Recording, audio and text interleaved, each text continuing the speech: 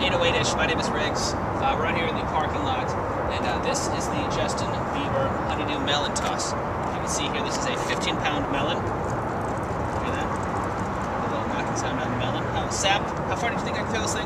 I'd say about 13 and a half feet. Okay, I'm saying uh, 12 and a half feet, so I'm going to hand you the microphone. I'm just going to do this regular shot put style, and then uh, we'll measure it out and see how far we can. Ready? Here, I'm going to hand it to you. All right, here we go. Riggs gonna get a little stretching. Here we go.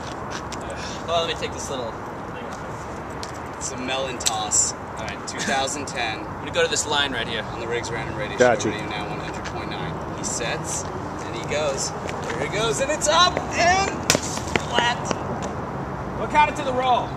We're gonna count it to the roll. I'd say by looks, it's about, I'd say maybe close to 20 feet. We're gonna see.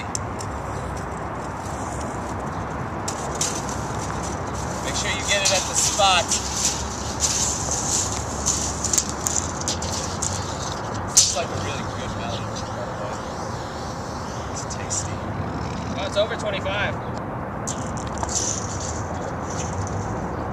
Okay, so it's official. It is over 25 feet.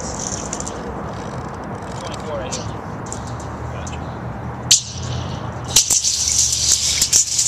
Whoa! Ah! It was a tape measure injury.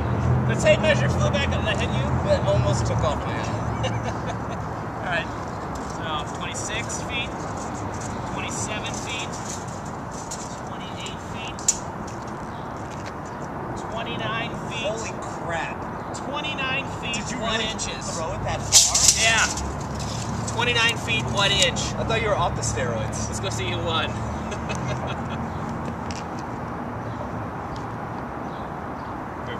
Nice.